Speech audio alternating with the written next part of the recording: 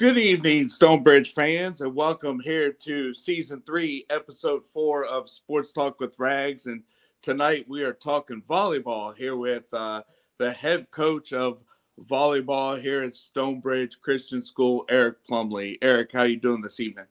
I'm doing good, Rags. How are you doing? Hey, I'm doing great. Uh, appreciate your time, and uh, hey, let's uh, let's talk about here your your involvement here with uh, leading the uh, volleyball program at school there first.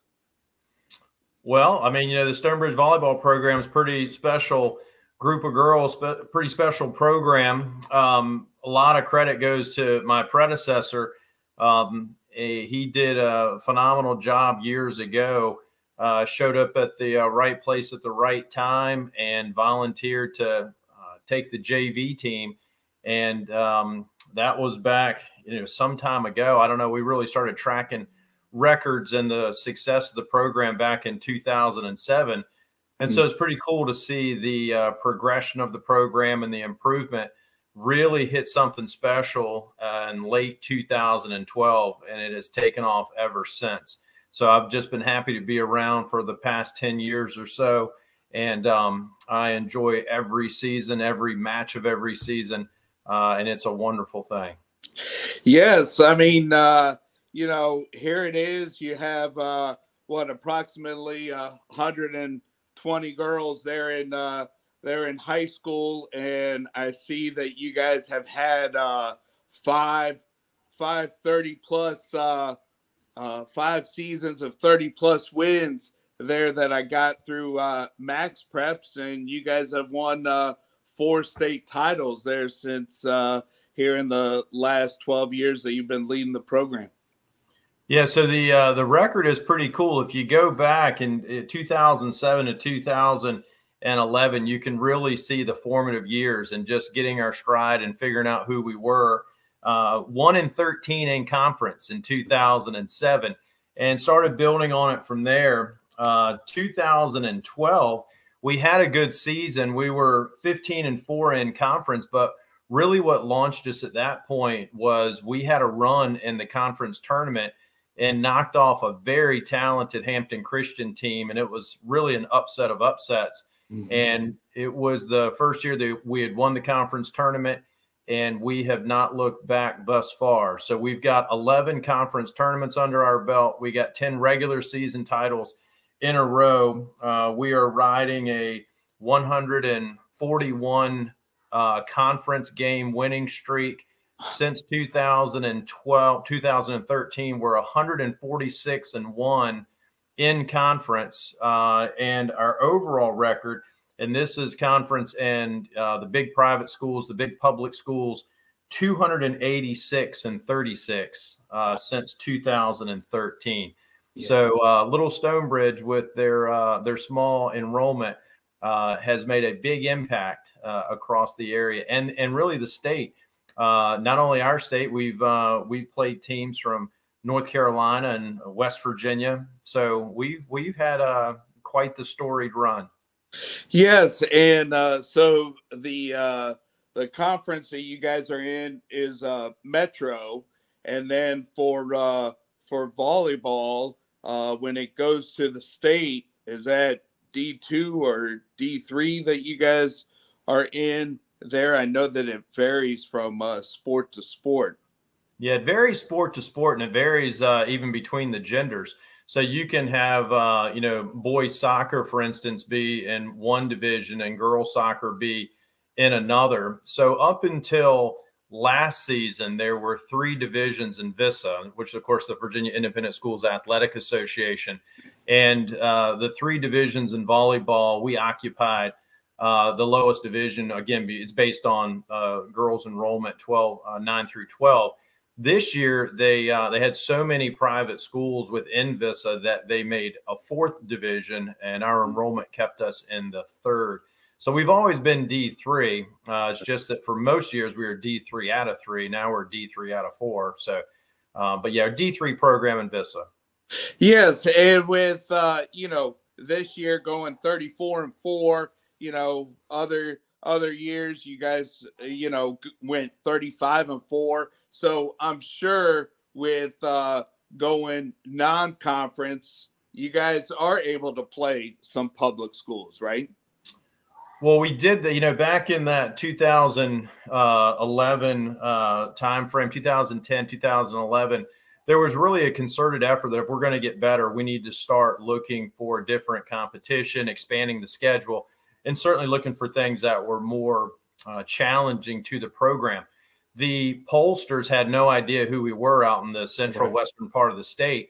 And so part of the drive was to get the, the program noticed by scheduling matches out in the Lynchburg area. Uh, it, it kind of became a neat thing referred to as the Lynchburg trip internally, where we get the kids out of school and go up uh, to play one of the Lynchburg area schools on a Friday. And then we'd have a great steak dinner and then uh, play again on Saturday. Uh, and that really helped get us some recognition. But beyond that, we started playing tournaments, and some of the tournaments were hosted by private schools like Peninsula Catholic.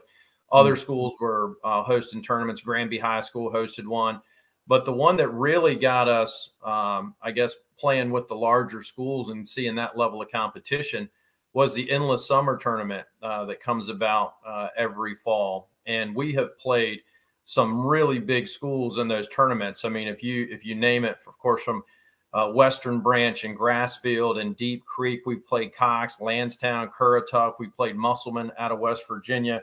Um, Kempsville, Salem, Bayside, uh, and we played all the big private uh, schools. Norfolk Academy, of course, the one here locally that everybody would recognize. Uh, and so, yeah, we have we have certainly uh, not shied away from the larger schools, the bigger competition, and quite frankly, um, the stature of those girls in the in the larger schools, they they just tend to be um, taller, much much bigger um, individuals than than Stonebridge has. We've always been you know undersized with smaller girls, so it makes it all that much more challenging for the program.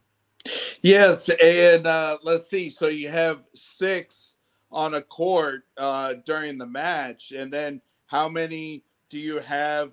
Do you have on a on a team that you about average uh, take from uh, season to season? Yeah, so it, it, varies, you know, because with uh with the small private Christian school, you know, it doesn't. We don't necessarily do tryouts like you would see at a traditional school or a, a much larger school. Um, so we kind of ebb and flow with the level of interest. But overall, I would say that we probably average uh, 10 girls, 11 girls this past season. We had 14 on the roster, which was unusual for us, but two of those girls were ineligible because of season ending ACL injuries early on. Um, mm. And so we really had 12 active players and that is a, uh, an, an, average size, I would say, uh, for uh, private schools, especially some of the large public schools, especially uh, in the cities that don't have JV programs.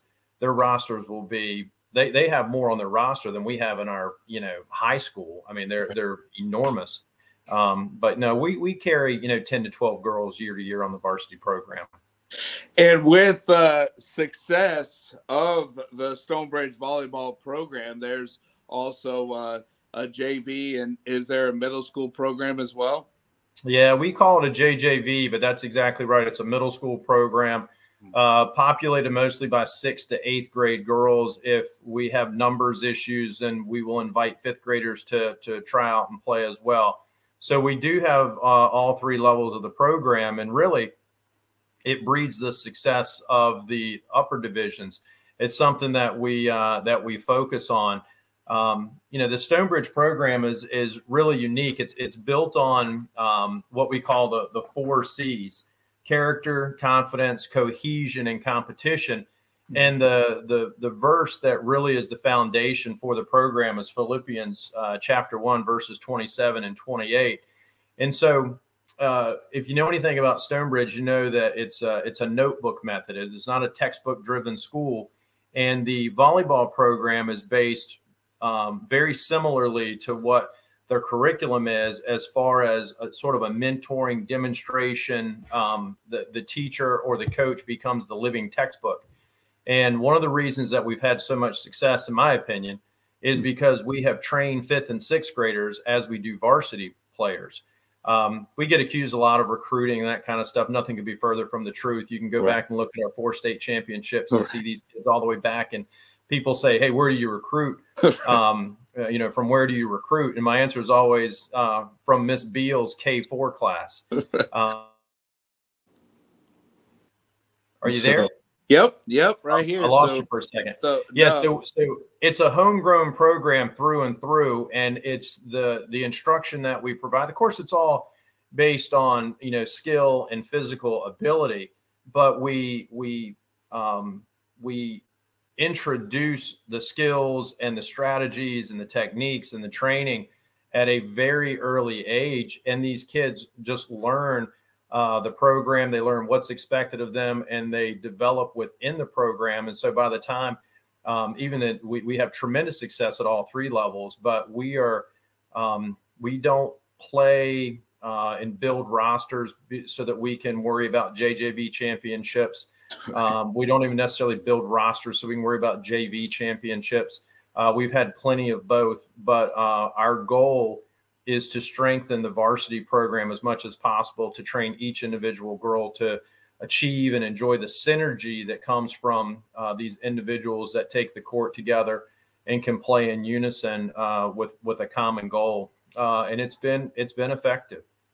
Yes, and I see that uh, you know with uh, the program winning a state title. I mean, from 16 to 19, you guys were on a nice run of winning three out of four years, and then with the pandemic, you know, but uh, you know, here after the pandemic, you know, you guys uh finished here the recent uh season on uh on top. Yeah, we had a great run in 22. Uh 21 we came up like you said 2020 was plagued with the plague. Uh, and so we ended up playing. We didn't think we were going to be able to play at all. We were we were very fortunate that in 20 we at least got a conference schedule in, and we picked up uh, the Beach Breakers as a match as well. So we ended up with an undefeated season. It was abbreviated, but we ended up 15 and 0 on the season. But it, there was nothing to show for it other than another conference um, um, regular season, of course, a tournament championship, which of course we're very very grateful for. We were very excited. The girls were very excited, but obviously that season left us short without an opportunity to compete in the state championship. 2021, we we came up short in the um, in the state championship. Uh, it was nice. We got to uh, see that team last year uh, in the state championship. They returned a lot of girls. Um, we uh, kind of retooled and returned a number as well, uh, and we got the better of them in the state championship to uh, to polish off really another fantastic season. So yeah, 2022 uh, was a was a great great season as were yeah. 16 17 and 19 right right. Yes and uh, so what do the girls let's see i guess after volleyball then go right into basketball and um, you know what's uh, what's there for the once school volleyball is over? Well you know when you and I were growing up, Rags, I don't know how old you are. I mean, you look like you're in your uh, mid 20s. I'm assuming that uh, you know you're a youngster. But when I was growing up, sports were very seasonal, and you know, you you went from football to basketball to baseball. You took off your summers for the most part, played a little baseball, and then you know got going early on football. Um, and um, there was none of this year-round stuff. And somewhere along the way, uh, people started feeding us and our children the lie that you had to be year round committed to a sport or else it would pass you by. Oh, uh, of course, they also dangled the scholarship carrot and the and the you know bragging rights that comes with playing at the collegiate level, especially if you play D1, the almighty D1. Uh, and so they're they're you know, and some people you know chase that dream or whatever you want to call it other people just just love it so much that they just whenever they get an opportunity to play they play and it has nothing to do with chasing money or prestige. They just love the sport. So we have a mixed bag out of the school program. We have kids that do transition uh, from school volleyball and they go straight into school basketball. We have um, uh, other kids that um, go into we have a lot of kids that, that play uh, club volleyball which in the baseball equivalents travel right. The volleyballers call it club. Uh, and so they transition into that. There's a lot of overlap in the season. A school season will start August the 1st. And depending on the success of your program, and if you're public or private school, you can play into the second or third week of November. And then the club will start December the 1st. And depending on what club you play with and how aggressive a, of a schedule they want to maintain, you'll play either into early May or you could play even into early July if you have mm-hmm. a club that wants to keep progressing and, and playing up into either the AAU Nationals or the USAV Nationals. Uh, those are always sort of the culminating event towards the end of the summer. But then you turn right around and you try out for next year's club season in July. Mm. You put that on pause, and then you're back into school volleyball in August. And sort of the the the third level of these things is the girls that play on the sand. You know, there's a lot of beach complement that goes with it as well, which really, really helps develop players in a, in a lot of different ways. Um, so yeah, we we have a mixed bag in the program of year-round volleyballers, uh, and that's what they do. Uh, and then those kids that do basketball and school soccer. You know, we got kids that you know do the fine arts, and you know we got kids. I got a kid on my club team that um, she also does lacrosse and she does horseback riding. And so we got a little bit of everything uh, within uh, the program. So you've led the school team for 12 years and you've led the club uh, team here for here for six. And it looks like that uh, recently here with 16U uh, and, and 18U of uh, of your club. Uh, looks like that they had a great weekend of uh, what uh, peak volleyball. Is that is that the club? Yeah, it is. So um, Steve Elliott was really the, the, the pioneer of modern day stonebridge volleyball. Again, back um, I don't have it in front of me. I think it was in the seven time frame. He's got he's got five children, uh, four daughters and a son, and and he was taking his oldest daughter up to a tryout and realized there was no coach, and so he stayed behind and um, answered the call, if you will. And he's he has been the Pied Piper of the program. Um, I was fortunate enough to come into the program somewhere along 2010.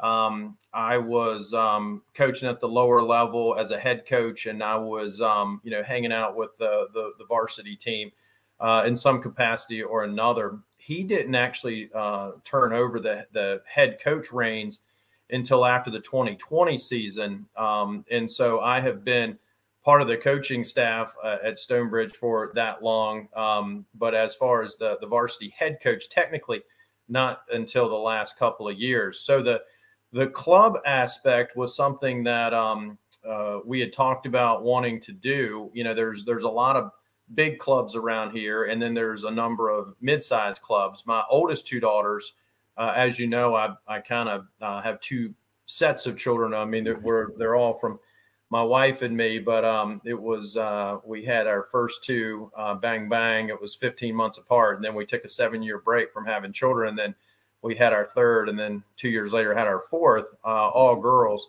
And so the little ones grew up in the gym watching the older two sisters play and they were going to follow in their footsteps. The problem is the footsteps that their older sisters uh, had blazed were out of a club in Williamsburg. Oh. And it was a national uh, quality club, the teams that they were on. And so uh, it was three times a week up in Williamsburg, and it was lots of travel, extensive travel, up to 15 tournaments in this in the season. And um, it was extensive travel. And we would go, you know, from Louisville to Orlando. We would do uh, a lot of Carolina and uh, down to Atlanta. We flew to Chicago. We did all kinds of stuff.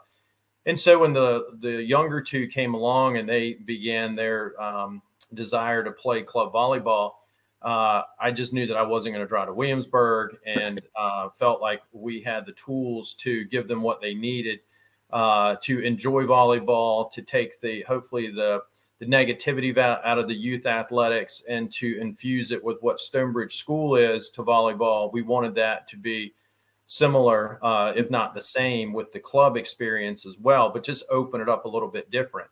So six years ago, we handpicked a group of um, basically 10 and 11 year olds, and we went out and we we literally um, just sort of beta tested it. And uh, I took this little group of girls and we went around and uh, play these little local tournaments, and people started noticing. So we plunked a yard sign out the following summer, and uh, 78 kids rolled into the gym to try out. Yeah, so it was kind of like, oops. Um, you know, we didn't have the gym space, we didn't have the coaching, we didn't, you know, anything. It was overwhelming because we went from, you know, literally eight girls to uh, almost 80 and uh, five teams. So we fielded 12s, 13s, 14s, 15s, 16s. Um, and so um, it built in the following year, we had six teams. Uh, and so the club, we initially called it Stonebridge Volleyball Club. And um, just to avoid the confusion and to, to establish more autonomy, uh, we changed the name last year to Peak Volleyball Academy, uh, more affectionately known as PVA. Um, mm-hmm. yeah, we've had a lot of success. Uh, played last weekend, or you know, just yesterday. Um, had some success. Uh, came up just short in the championship. A couple weekends before that, we won a really big tournament um, uh, out of Richmond. Uh, we took first place in that with the 16s team. Um, this group of girls been has been playing together for a while, and they had tremendous success last year as a 15s team. Great success as a 14s team. COVID cut them short, but they were on en route to having a great 13 season. Had a great 12 season year before that. Mm-hmm. So um, it's a special group, uh, top to bottom, from the little 12 year olds that are literally just starting out. You know, half of them can't hardly hit the ball to the net, much less over it all the way up to some some talented 18 year olds who uh, have already gotten college commits. Uh, and so, yeah, the the volleyball uh, club is a special group, and it's an eclectic group. It's not just Stonebridge community, um, but it are it, they are like minded uh, families that have come together, understanding uh, the culture of the club, um, and they have bought into it, and they are fantastic. Uh, they're great promoters of it. They are great stewards of the mission of the club.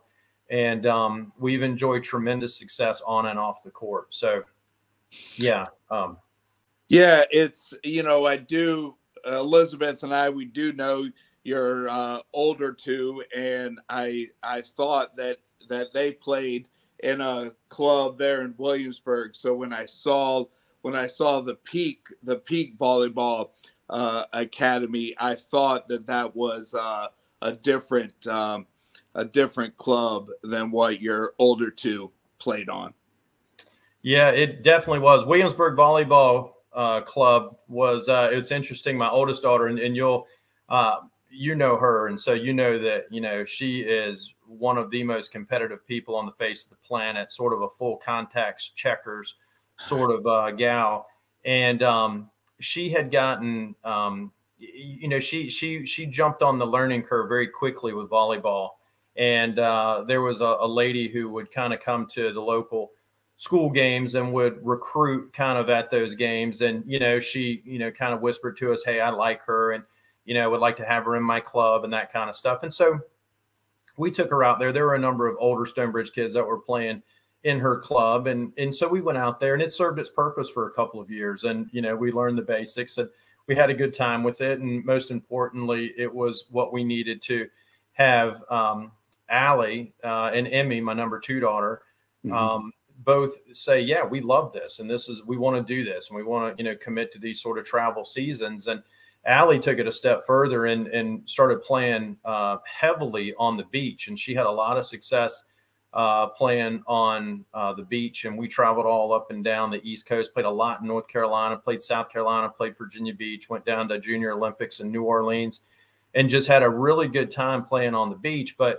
Allie, never being satisfied that she's you know beating up on kids her own size and age, she she wanted to go hunting for what she thought was the best. And so pound for pound, she she did her research and and she believed that Williamsburg Volleyball Club for her particular age group had the strongest team in this region. And, you know, I said, well, if you want to try out, you can try out.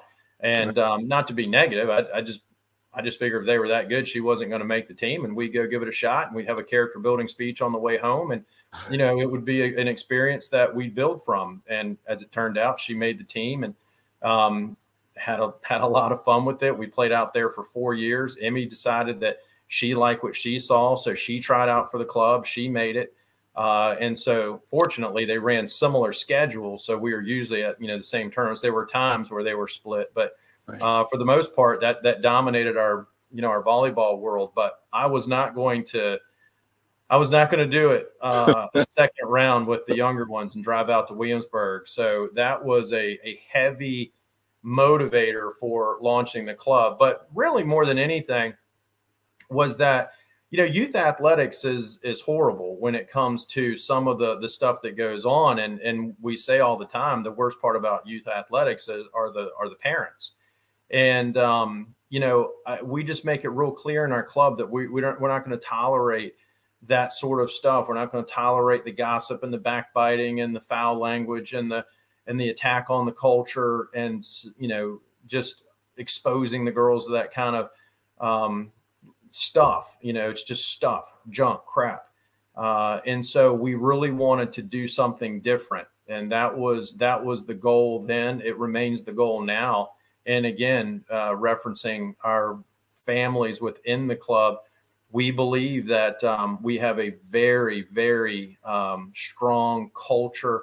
Uh, we go to these tournaments, and people ask, "Who are you guys?" and you know, where do you come from? And and they they notice um, you know that there's something different about the girls making honor calls which is unheard of and the parents the way they uh, cheer and they they they bond together and the way the girls get along um, it's it's a pretty special group of girls yes well i do know that uh, for stonebridge uh, uh for uh, school volleyball and then also here with uh, club volleyball i know that my brother and sister and I, we definitely know a couple of the couple of the families, you know, that we uh, that we grew up there. Uh, you know, Mark and Angie uh, Williams, and then uh, Justin and Kim Gardner there. I know that uh, their daughter plays for you on the club, but uh, definitely uh, successful uh, programs there for uh, school. And then as you are uh,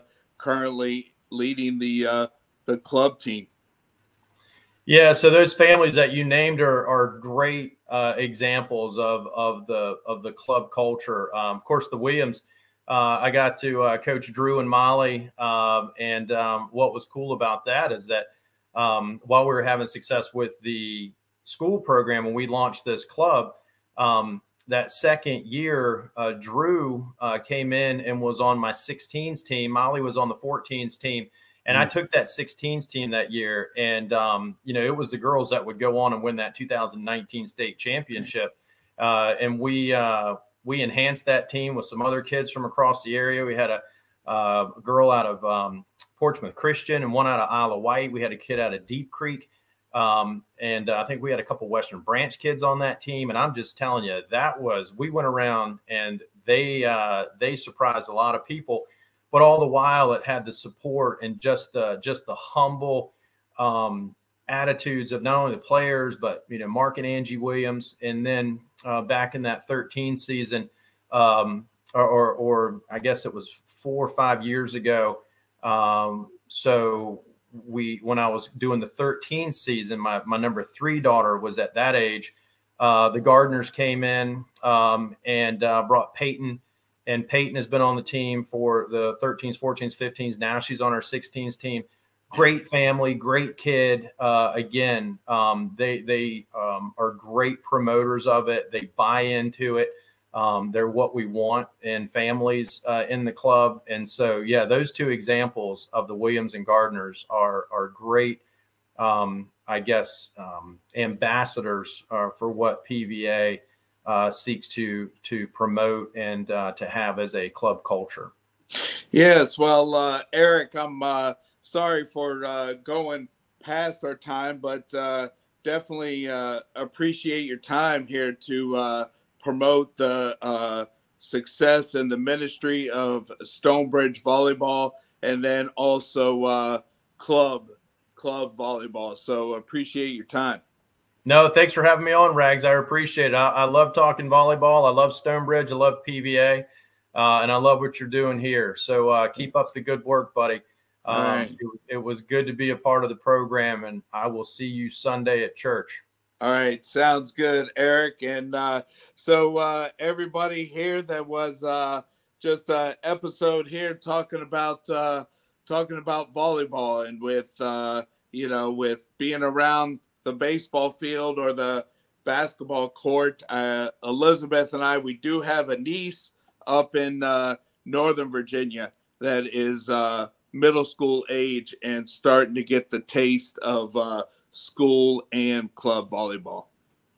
That's great. So, but uh, all right. Well, hey, uh, appreciate your time and um, look forward to uh, seeing uh, pictures there of uh, peak volleyball here with the club schedule. And then Elizabeth and I will uh, stay tuned in to the uh, 2023 season there for Stonebridge. So thanks again, Eric. Sounds good. Thank you, buddy. All right. We'll see. All right. Bye bye.